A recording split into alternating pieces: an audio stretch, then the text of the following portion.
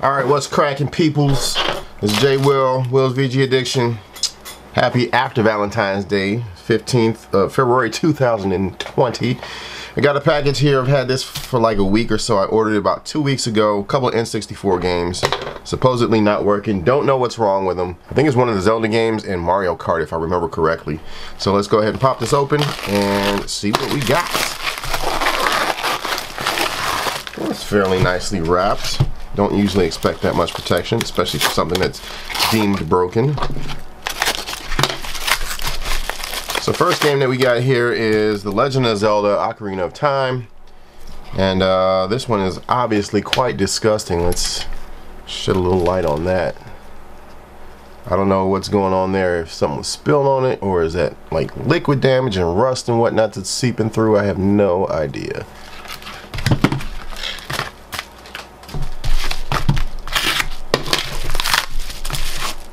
And this one is Mario Kart 64 fairly clean um, hmm label's a little messed up but you'll see on the bottom uh, pins look okay on this one maybe. Alright so if that can be shown on camera I'm not too sure how well it shows but there's clearly some rust seeping through the board on there. And then on this one looks kind of similar but not quite as bad. Maybe it doesn't show. I'm to open these up anyway so you can see them, but right in that area. So, let's go ahead and pop. Well, I think the first thing I'm to do is I'm to go ahead and uh, clean the pins with a little alcohol and just see what happens when I put them in the machine and turn it on. Excuse me.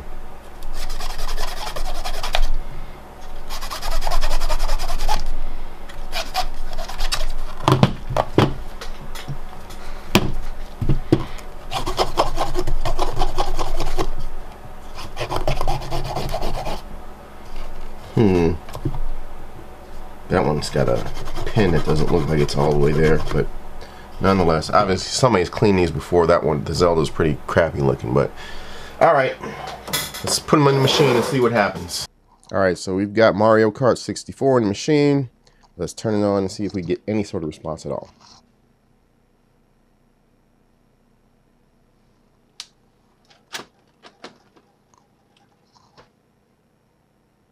Nothing. All right, let's try The Legend of Zelda.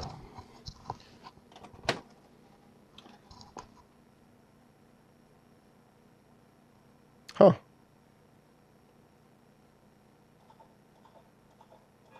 Sweet. I actually thought that was the one that was not going to work. Cool. So we'll still open it up, clean it up, and all that good stuff, but that works. Again, both of these were sold as non-working. I think I paid like 25 bucks shipped for the both of them. Uh, let's pop them open and see what we could do. So, all right, Zelda works, Mario Kart doesn't. I guess being that uh, Mario Kart does not work, we should open that one up first and check it out.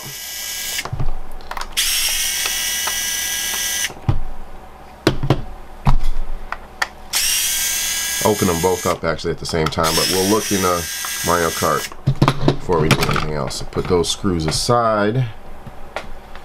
You'll notice I got a ton of screws just every freaking wheel right now, so yeah, it's a bit of a mess up here, but I don't care at this point. One of my weekend goals, actually, since this is a three-day weekend, is to get this room cleaned up.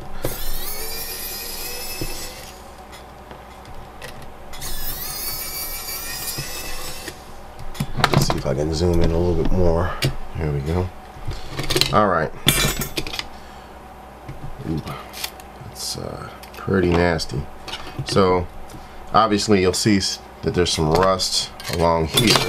And then looking at the board itself, looks pretty bad and it looks like there's, wow, some, some bad traces and maybe, we'll see once we get all this stuff cleaned off. But if you take a look,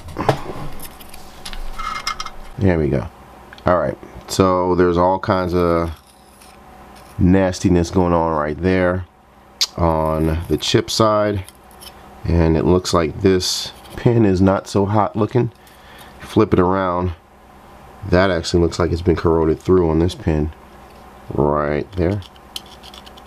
And you can hear some of that. So yeah, that one's bad. And again, some more general nastiness there. And what I'm going to try to do, because I have a ton of these um, Japanese versions of Mario Kart, and it's not quite as valuable or expensive. Might just swap the ROM chips over. We'll see. I'd rather just try to get this working if, if possible. So, let's go ahead and do that now. First thing that I'm going to do I'm gonna go break out my multimeter. I can't remember where the hell I put it, but it's around here somewhere. So the first thing I'm gonna do, I'm gonna go ahead and clean some of this stuff off with some alcohol and a Q-tip and just kind of get a better look at it. Might even run this through the microscope. And then I'm gonna check continuity and see if this is even worth messing with. Um, because of the fact that I am planning on selling this, I already own a copy of this game. Certainly don't need another one. Um, doing like a trace fix on this is probably not going to benefit me in the slightest. So, I mean, I can do some scraping and run wires, like thin wires and whatnot, but is that fair to the customer? Probably not. So I might just go ahead and do a board swap. But it just depends on what the, uh, the level of damage is here. I'm going to look at this underneath the microscope. Uh, you guys probably aren't to be able to see it. Unfortunately, I don't have a microscope that can record video. Oh, wow. So that pin that I was talking about that was corroded, that thing is corroded all the way through. I'm actually to go ahead and see if I can't put my handy cam, a little action cam up to this thing so you guys can check that out. I'll do that now. All right, so this is gonna be hard to see with this cam. It does not go very well through the lens at all. So I'm trying to steady this thing with one hand. But this is what I'm talking about right here. This pin has been, I mean, the board in general has been corroded all the way through. I'm sure I can do something with that. I can probably fill that with solder or whatever. But this thing, it's pretty much shot. uh, as far as like trying to sell this to a customer, like it's not going to happen. It's just not going to happen. Looking at, at the pins like this, you'll see all that corrosion and shit. So, sure, I can fix this. And you know what? I might just do that with the uh, the other board that I'm going to swap it with, but and sell that one cheap. So I'll probably grab like the worst condition Japanese copy I have, if we can focus a little bit in there, uh, and then fix that one up. But with this one right here, uh, I'm just going to go ahead and do a board swap because yeah, it looks god awful. So when I say I have a lot of copies of Mario Kart 64 for the Japanese N64, these are all the copies I still have remaining. I'm sure I got some more uh, up in those tubs somewhere, but this is all the stuff that I don't believe I've cleaned or tested at any point. So I've got a lot to choose from, and you'll see some of the prices on these. 500 yen on that one, so that's like just under five bucks. Uh, I think the majority of these were 500 yen or so, but 324. So like $3 on that, $3 on that. Uh, there's probably a couple in here that I paid like a buck for, 400 yen, 250, you know what I'm saying? So it's not like, it's not like this is any big loss, but um, I still, you know, it'd be nice to save all of them. So what I'm going to do, again, I'm going to find the nastiest copy I have, the most yellow, jacked up copy. Most of these I think are pretty good. Um, I know there was one in here that, thought anyway, there was one in here that was super dirty and yellowed, but that one's not too hot. That I paid 200 yen for, so uh, label looks okay on that one. Um, I don't know what that stuff is, but looking for one that has a shitty label because people care much more about the label than anything else. That one's kind of suspect. I don't think I have any. Uh, that one's a little ruffled there. I don't know. I mean, regardless, to be honest with you, I'll probably, whatever it is that I choose, I'll probably just go ahead and, yeah, that one looks pretty bad. 200 yen on that one. Let's check it out. I'm going to try this one out. So, um, Again, I paid 200 yen on that, so it's like $2. I'll probably be able to sell it for about five bucks or so, even with the trace fixes and whatnot. So it's all about letting the customer know and letting them make an informed decision. But either way, even if I get like two bucks for it back, you know, I'm straight with it. because I will get so much more for the American version. So again, before I do anything else, uh, before I do anything else, we got to go ahead and clean that up before we put it in the machine. Just make sure it works. I'm sure it does. And then we'll do a nice little board swap.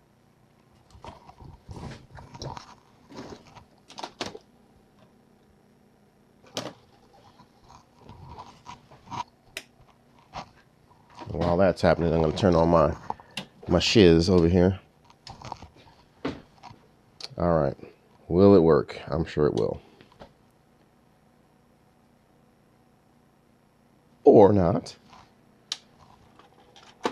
This one might not be any better. Hmm. Let's try that again.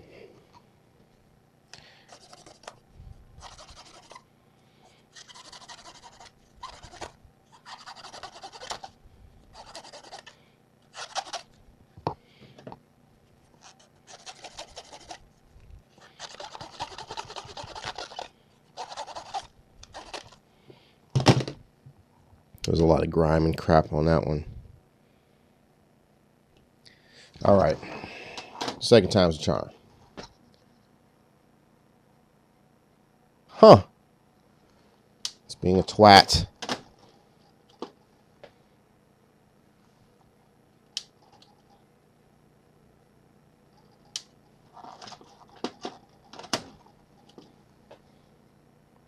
There we go. All right. I'm sure it's just dirty. Pins don't look bad. All right, so let's go ahead and clean this bad boy up, swap the chips, call it good. All right, so I was thinking, before I do that chip swapping nonsense, it might be nice for people to see um, what I plan to do as far as fixing this, since I'm gonna fix it anyway. I'm gonna take a look at this under the microscope again. I'm gonna scrape off as much corrosion as I can and uh, see where we're at as far as the traces are concerned.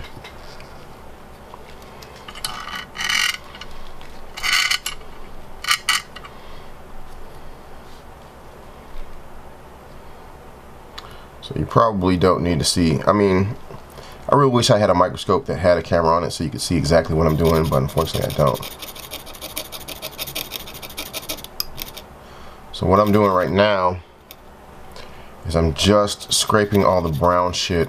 I'm doing it very lightly um, with an X-Acto knife. I'm scraping all the brown stuff off of the pins. And I know there's some people that are probably going to disagree with me doing that, which is fine. But, I mean, you can't really do anything about that. When Once it starts rusting up and turning brown, like the best thing to do, in my personal opinion anyway, is just to get that stuff off of there. Yes, it removes some of the coating that's on the pins, but what does it matter if it's rusted anyway?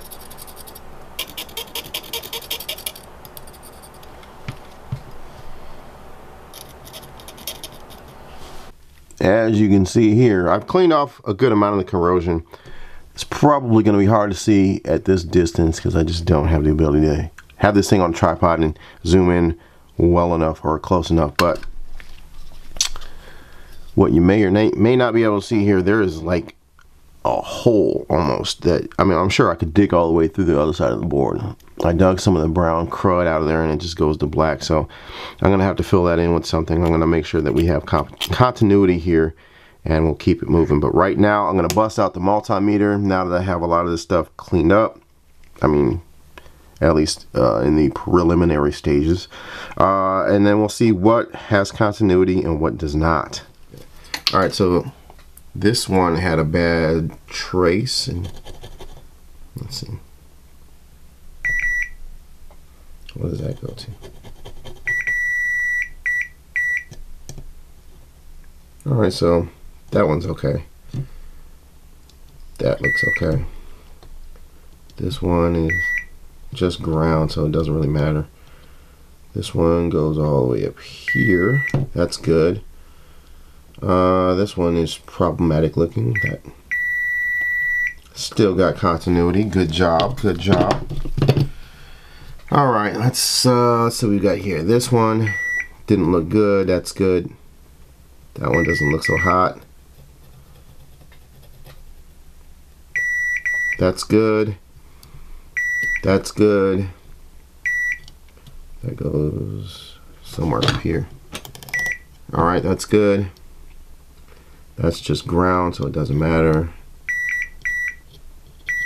That's good. Uh, so yeah, I, th I think we might be good actually without actually having to do any wires of any sort. So let's put this back in the uh, the old N64 and see, oh my goodness. Preview on that Zelda, my God, it looks terrible. All right, so we'll see what happens with this one. So actually, before I put that into the N64, what I want to do is I want to clean it up. Um, shit, so I'm dropping stuff. So what I would like to do is clean it up. I got this metal polish while I was in uh, Japan and this stuff is outstanding. I don't know if, I'm sure it's just like regular ass polish that you can probably get an equivalent to in the States, but this stuff is great for me. Um, I'm going to keep using it until we're out of it, and then we'll move on to finding something else that hopefully works as well. So what I'm going to do, and usually this is enough, I shake it up, and I'll get a little bit in the head of the cap, and I'll just put that on a Q-tip, clean up the pins, just need a light layer, um, all the corrosion and grime and stuff. Just make sure you hit those areas.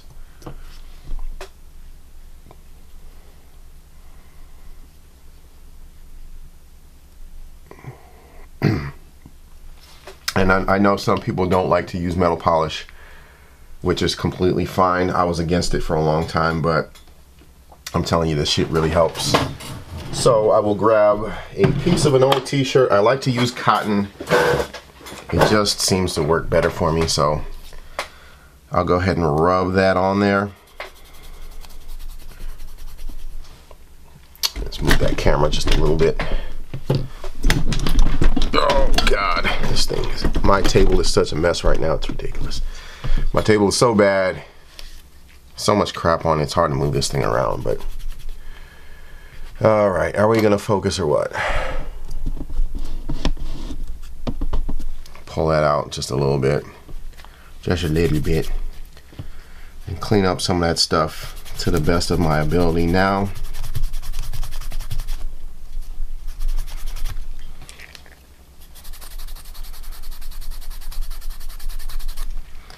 And I don't know how much of that is oxidation or how much of that is just like the cream reacting with the filth.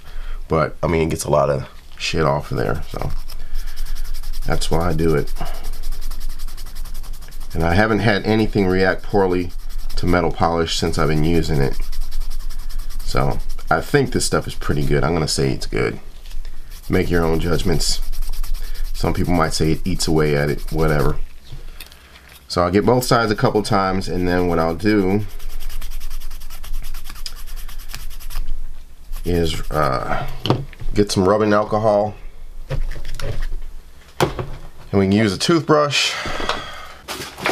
So two things that I like to do right? First I like to kind of saturate my uh, my board a little bit with rubbing alcohol. This is 99% just get all that um, that metal polish that unused stuff off or the residue whatever uh, get all that crud off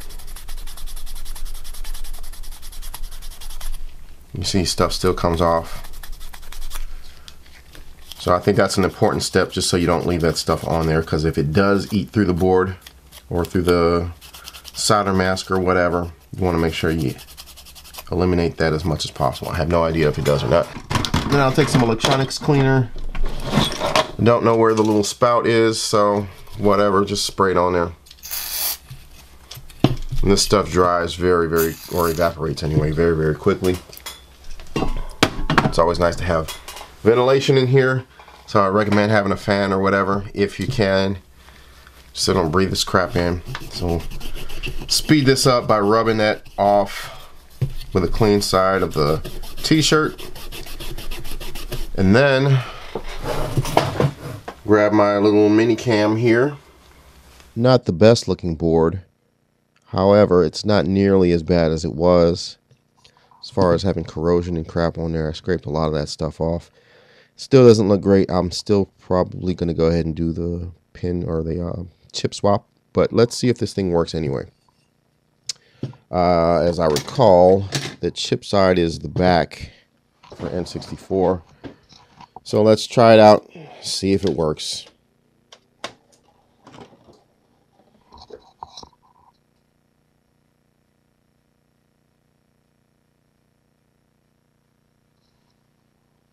Do you think it will?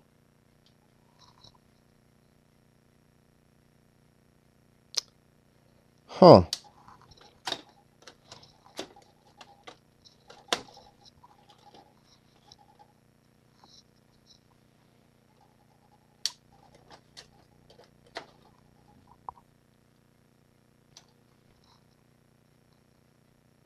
Interesting. Um, let me see. Okay, so we go back to the drawing board. What what else could be wrong with this thing? hmm.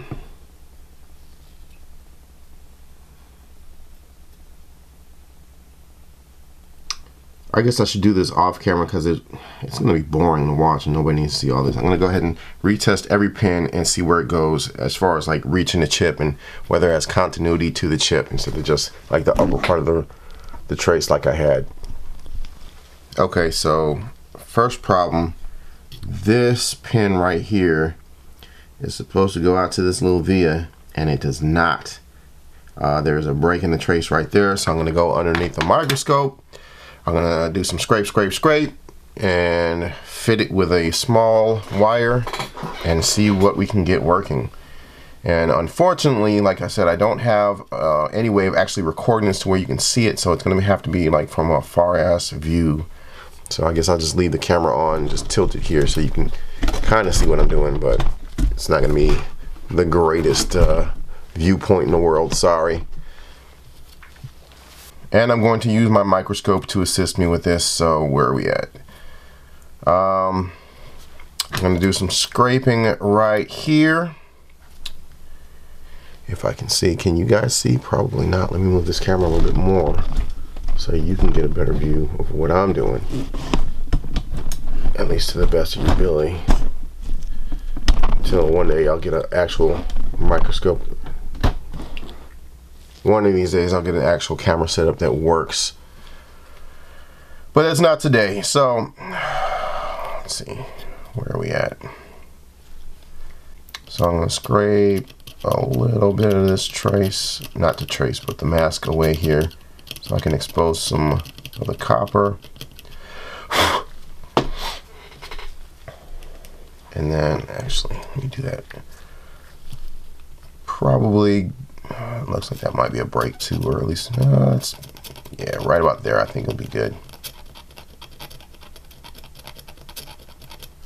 All right. So I will use a little alcohol and cotton swab to clean that up, get all that crud and the impurities off of there. And we're gonna grab our soldering iron. Actually, before we do that, let's flux it up some.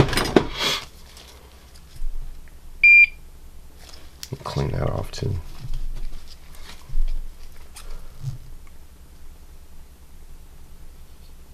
Just a small dab of flux, just a little bit. Right there and right there. And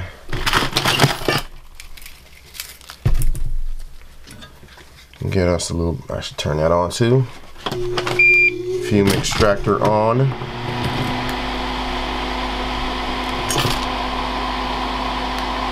My God, this, this table is a mess. I need to clean this up. It's disgusting. Shit everywhere. Get us a nice little solder blob there. And one right there. And I'm not going to do this like super, super uh, clean because I don't really care that much to be honest with you. Not on this. I don't really care enough to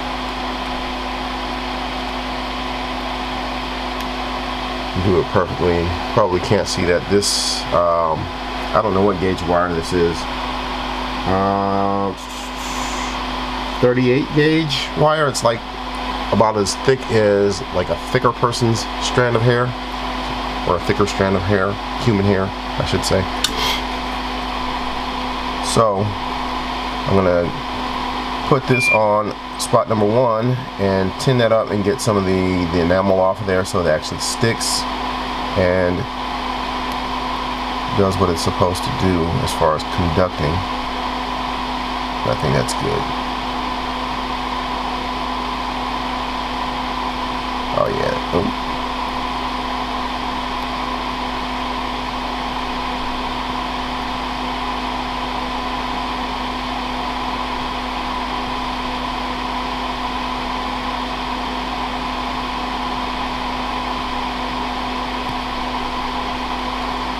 give that a slight tug just to make sure it's good. And all right, so I'm gonna bend this just slightly so it kind of kind of curves along the trace. So I don't really need it to, but I don't know. Again, I said I wasn't trying to be super, super extra with it. But I kind of wanted to keep the shape just a little. And I'll put that right there just so it holds in place. A little weight on it. But this isn't contoured properly to make it flush, so never mind. Well, we'll, we'll do that. We'll put a little weight on it there just so it keeps it down. And then I'll melt away some of that enamel. And stick it down to the board.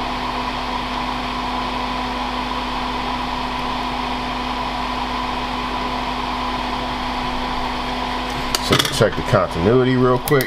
Just make sure it's good. And then we will tear that bad boy off. Not tear it, but just kind of rock it back and forth so that it breaks the wire that is, the excess wire.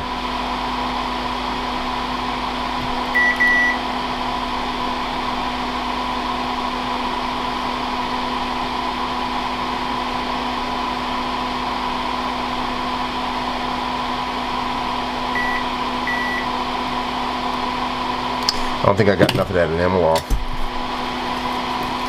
Doesn't seem to be making any sort of contact, which is annoying.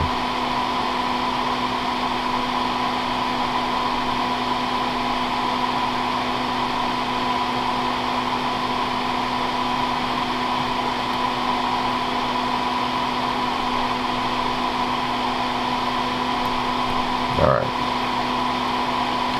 So that should be good. Try it again.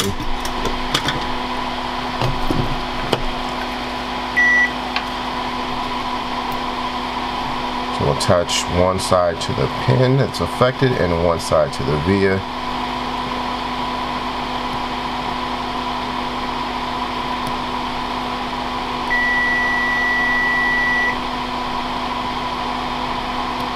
a lot of corrosion on that via too.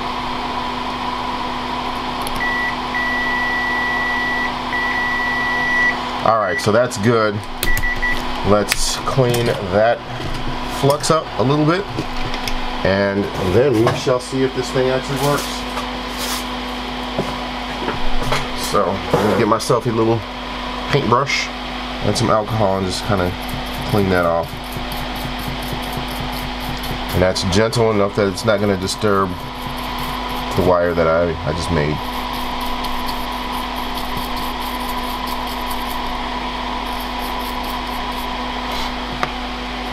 course, just for my own sanity's sake, and get some of that stuff up off of the pins so it doesn't interfere with contact. And let's see if this fucker works.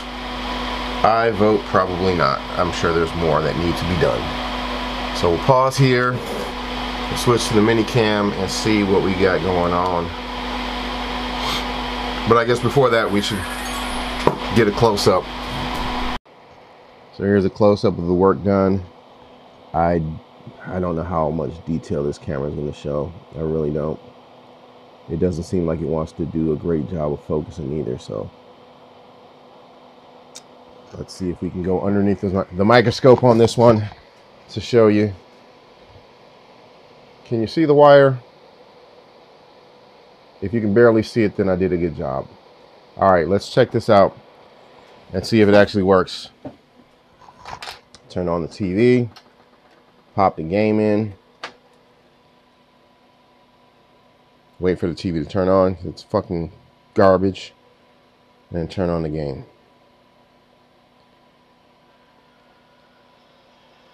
Shizzle.